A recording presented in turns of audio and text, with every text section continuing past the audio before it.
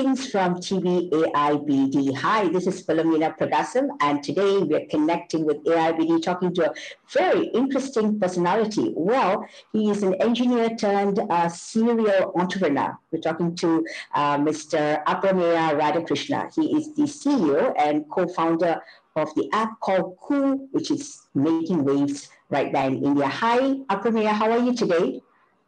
Hi, Philo. Thanks. I'm doing very well, and uh, thank you for having me on the show. Uh, it's a pleasure.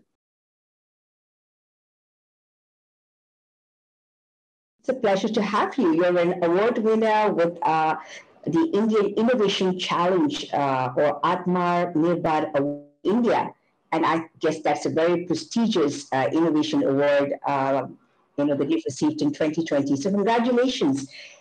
And thank you Thank you, Aprameya. Um, the thing is, uh, Koo is something, um, you know, it represents a bird. So I think it's uh, an Indian version of Twitter, as it's being told.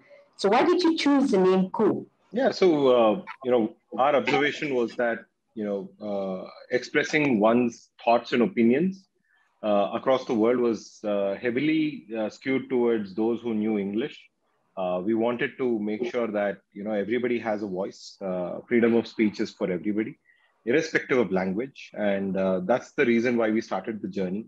Uh, and because it was about expressing and sending various kinds of messages, uh, you know, to each other, uh, you know, we we thought that you know the best representation of that is a bird.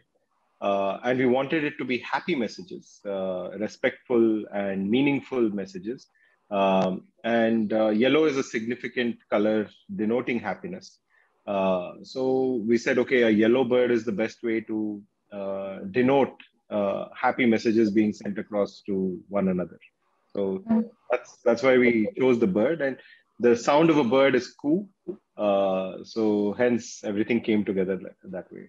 I say it's such an exciting name, right? Koo app. And uh, the first time I heard about it, I said, "Oh, okay." So it's, uh, you know, it's, it's really a, nice innovation, and um, yeah, and and what, how is Koo different? Uh, you know, because you said multiple languages. If you look at Twitter, it's in English. So why did you feel that uh, there's a need for this? You know, yeah, I think our primary uh, reason has been language, and we've innovated uh, to become local uh, in that way. Uh, you know, creating uh, in in Indian languages and non-English languages is is extremely difficult. So we made it easy. so typing in Indian languages is extremely easy on Koo.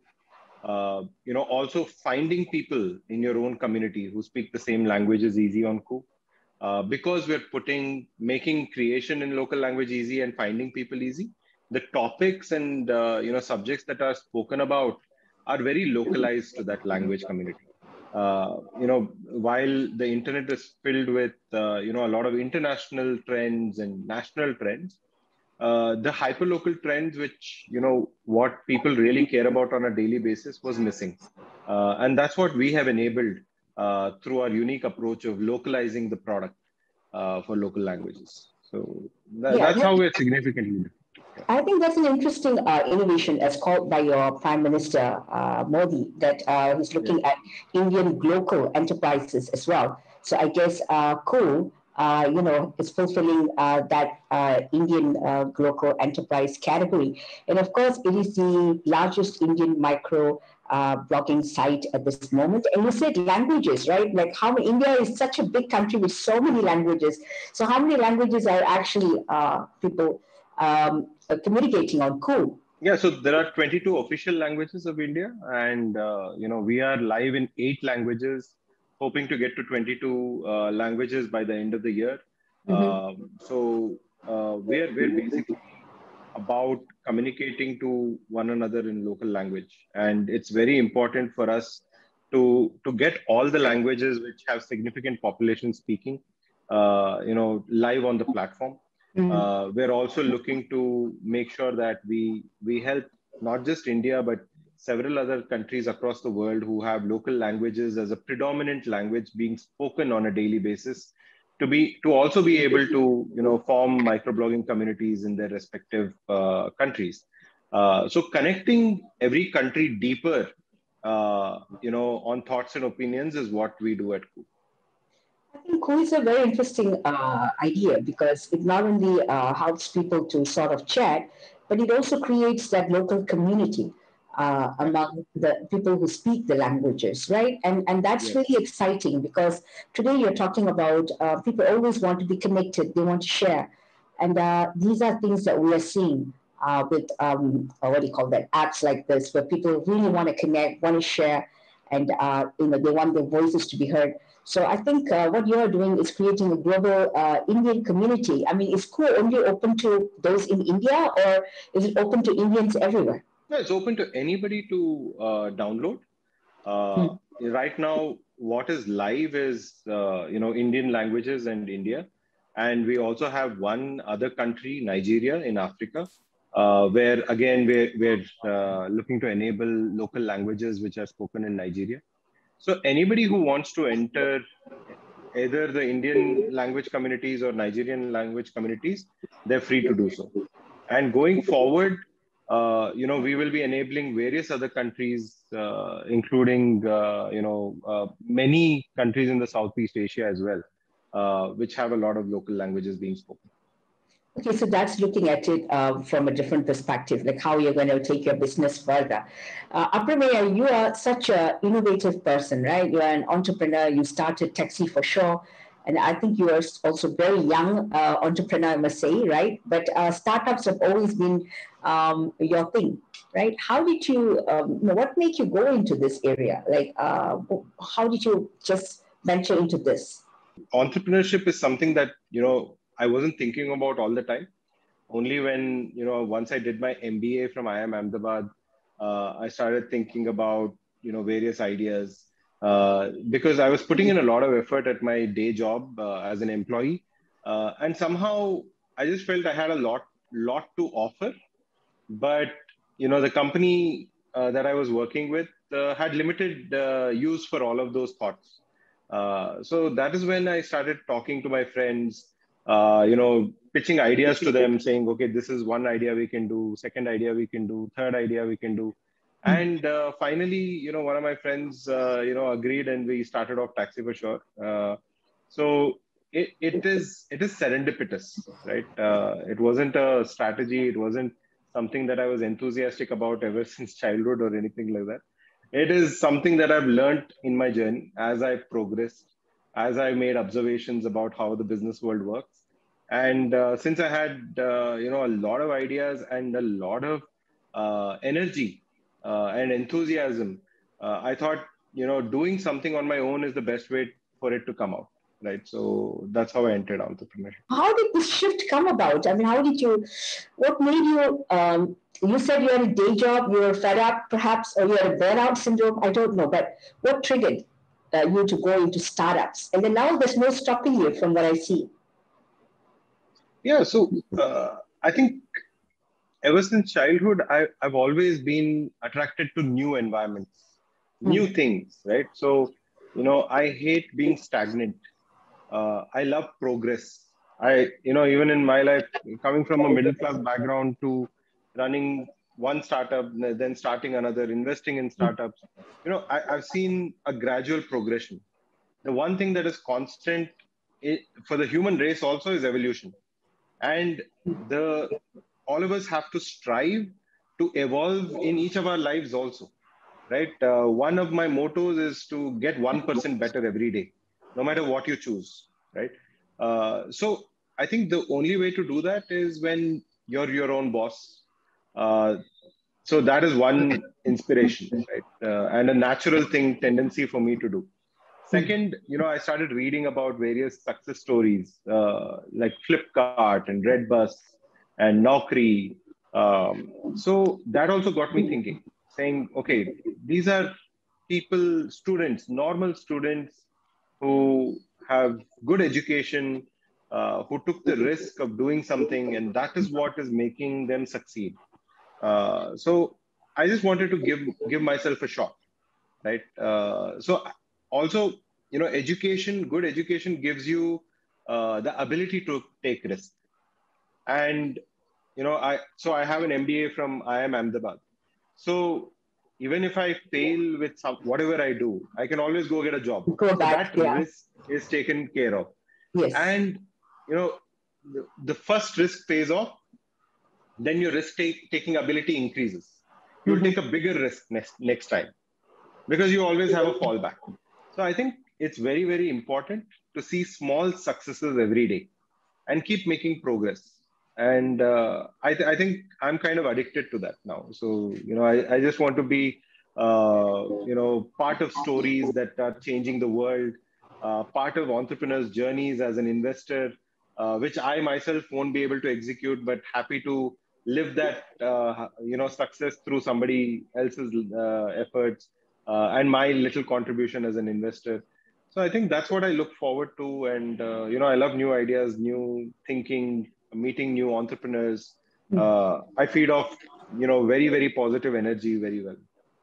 Yeah, I can see that. And then, uh, you know, like Koo is something which is uh, hitting uh, waves and creating a positive energy. And uh, right now we are in a pandemic, right? And uh, whatever you've created, an, an entrepreneur always creates um, uh, profits not only for himself, but he also creates a multitude of jobs uh, for people around. So that's what you're doing, um, Yeah. starting up Koo and uh, going where you're going. All right. Yeah. And uh, okay, yeah. So um, you mentioned earlier, uh, that you're working with young people, inspiring others. What are you doing towards this end? So one uh, very natural thing I do is keep meeting young entrepreneurs with great ideas, right? Like you know when we when we started off uh, in 2011 uh, you know we had very limited access to what people uh, you know were doing uh, as information. Uh, also you know if we wanted angel investors there were very few. Uh, you know the the startup story in india the ecosystem was very very uh, nascent at the time then we, when we uh, started off as a company. So I think you know just being there, uh, sharing uh, learnings uh, specific to the entrepreneur's journey, I think uh, you know is something that I actively do. Uh, investing is a is an outcome of excitement of the idea and uh, you know belief in the entrepreneur. Uh, so both of these things I, I actively do and you know uh, keep participating in various uh, forums, uh, talking about various aspects of starting up, uh, success, failure, whatever it is uh, I think everybody should be aware of what they're getting into when when they're when they're doing a startup. I think startups is the way forward uh, for many, many people today.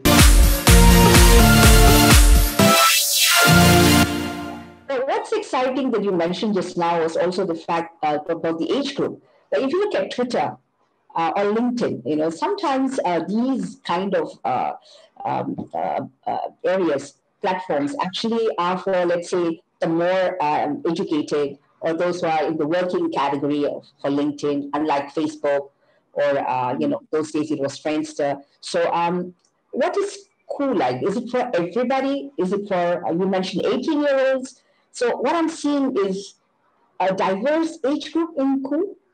Yeah, so because we're uh, about all kinds of interests, uh, like for example, Olympics is happening, and there are a lot of uh, you know athletes from uh, India who have gone to participate in the Olympics, Mm. and we've also been fortunate to win some medals as well. So yeah. celebration uh, of winning those medals, right? Uh, the athletes are, uh, you know, uh, poster boys and girls for the youngsters. Mhm. So for the youngsters to be able to follow them, uh, learn from them as to how disciplined they were, how did they train, what was their mental state. Uh, so it's very important, right?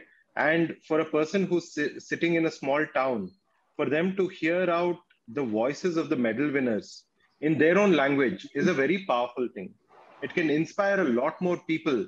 Hmm. Uh, and they don't have to be dependent on English. They can get inspired in their own language. Because, you know, if you have to win a medal in weightlifting, it doesn't matter what language you uh, speak. If you have to win a medal in tennis, it doesn't matter what language you speak. It is about the discipline and the rigor with which you train and want to win, right? That has nothing to do with language. So I think uh, Koo as a platform uh, attracts those who want to celebrate, uh, you know, being Indian for India, right? Uh, and as we go into other countries, it will be a celebration of that particular country and that particular culture and that particular uh, way of thinking and uh, living, right? So I think our, our job is to be away from defining what Koo will be, but mm. giving it as a platform so that it truly reflects the country in which we're operating. I think that is the true success of, uh, of Koo. It's a great, I think, well said. It's a great unification tool. I mean, uh, if you look at India, you know, with all the diverse cultures and the issues, and, and it provides a platform uh, for people to voice uh, their opinion, uh, their grouses. I'm sure you're seeing a lot of grouses. I've seen grouses in many, many of these mediums, uh, especially when there's an issue or, or people just want to talk. So actually, Aprameya, you picked on the core uh, human um, uh, want or need to communicate, to talk, to express, to say things. So that's what Koo is. But all in all, Koo is also like a one-stop center for all Indians or um, anybody uh, anywhere. Okay, but let's look at how um, you are. And I think um, talking about the Prime Minister, you know, he has also made a call to everyone, you know, to support uh, a local innovation. Like earlier, you mentioned something about uh, your Indian TikTok. I think that was also one of those who won a prize, uh, the Indian version of TikTok. And also now we're talking about um, the future and, and where you're going with uh, Koo right? Because if you look at, yeah, you said it's a platform for sharing. And then uh, I'm sure the biggest news right now that's going on is, of course, Olympics. But what else do you see people talking or sharing on Koo, Aprameya? Yeah, so people talk about, so there are lots of people who write poems uh, in local languages. Uh, every day, uh, they come up with new thoughts and new poems. Uh, it seems like there's unlimited thoughts uh, to write poems. Um, there are people who share their views on uh, what is happening locally. Uh, you know, there are people who uh, share views on, uh, you know, their, you know, let's say a movie is launching on Netflix, they'll come and share their opinion on that. Uh, they will share their opinion. They will share moments that they have spent with their friends on Koo. Uh, they will share their opinions on, you know, what is happening in the country in terms of politics uh, they will share, uh, you know, their favorite music. So I think it is it is dependent on what you are uh, as a personality and what your interests are. So you will share what you are, and you will follow those particular interests that you're interested in. Yeah, and you also have a lot of political people who are also, or, or, or ministries, which are also yeah. on Koo, right? And so I think uh, this is great because a lot of uh, things can be, people, is, is there an ability, you see people questioning or there's more, um, um, what do you call that, more uh, talking going on in that sense, you know, Q&As or something like that. Does that happen on, on, on Koo? Absolutely, yes. Uh, so I think the, the best way to uh, get your information across to the common man, no matter where they are, is in local language, right? And who is enabling that. Mm. Uh, and once that is enabled, uh, you know, reactions also come. So maybe you're doing uh, some policy with, with the right intent, but it is not reaching the intended people, mm. right? Uh, how do you get feedback, right? Uh, directly from the from the folks. So Koo is a great way to keep your ears to the ground and see whether what all the effort that is being done is is it hitting the ground or not, right? So I think it's extremely essential and important to be able to communicate without any uh, bias, uh, right? So uh, and when you're doing that directly uh, to the end consumer of that information, uh, there is no way anybody can introduce any bias on that, right? Uh, each one will take what they want. Uh, so I think it's it's extremely important uh, tool uh, for even the government, you know, various departments, you know, the ministers, ministries, everybody to be able to communicate to the common man. Fantastic. And what about things like fake news or, you know, is there any gatekeeping? Does that happen? Or is it taken down or is there any monitoring being done on Koo? Yeah, so we follow the policy of not being the judge overall, right? So, you know, I think users get really, really uh, annoyed when the platform itself starts judging. right? Uh, so that we try to keep away from. What we try and do is there are certain scenarios uh, which are black and white, right? Uh, which universally is accepted that it is right or wrong. Though those are the ones that we actually take action on. Uh, so, for example, you know things like pornography, right? Like you know we don't want to allow pornography on Koo. It's a very straightforward case. If anybody uploads it, that will be taken down, right? Uh, on the other hand, you know something like hate speech, right, has various kinds of connotation, right? Um, you know, somebody say, you know, uh, makes a point against another person. That is not hate speech the way you say it, if you call names, if you abuse, you know, all that is bad. But in cases where, you know, 50% of the population will say what is said is right, and 50% of the say what is said is wrong, those are the cases where we will not be the judge. We will tell the community to be involved and go as if somebody is really, um, you know, annoyed by what has been written, they can approach the right authority and get a takedown request for that particular uh, statement that has been made. And based on that we will we will be uh, we will be able to take an action. Right? Uh, taking a judgment call on behalf of uh, folks when there is a 50 50 you know gray area uh, judgment i think is is a wrong thing to do. I think that's uh, that's a good thing that you mentioned because sometimes uh, you just let to let things go and uh, you know if everything is being taken down, then I think in a country which is very vocal like India, uh, you know, it's going to be a tough job. And talking about being vocal, you also have a Quora-like uh, platform, right, uh, which is Vokal. Uh, so, which is also, I'm sure, hitting waves in India, uh, Aprameya. Yeah. Yes, Vokal. Uh, you know, basically, to empower the population of a country. One, you need free expression so that we are enabling through Koo. Hmm. Another is you need to give information to people uh, at, at their fingertips. And the way the new users on the internet in India are, are using search is through voice. They go and ask a question in local language, right? And to give them answers which are text based or in English is the wrong way to do it? The right way to do it is if you ask a question with voice, you should get back a voice answer in the hmm. same language right? It's, it's a very simple thesis. And what we've done is we've built a community which basically answers all the questions that India has. Uh, so India has general knowledge questions, questions on career, education, health, uh, life, love. Uh, so basically, everybody wants to be better, right? Mm.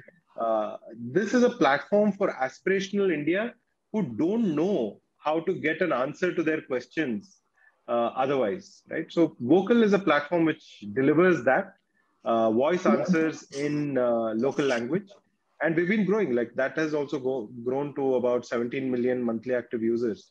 Uh, so it's growing well that you have the population there and also the people who are interested. And I think with digital connectivity in India, right? I mean, uh, yeah. I don't think you have much of. Uh, I think that digital connectivity is um, broadband connectivity is so good uh, and also the community networks, um, perhaps in, in rural areas. I think uh, India is pretty much a very connected country. Thank you uh, for coming on board uh, AIBD's um, Connect with AIBD program.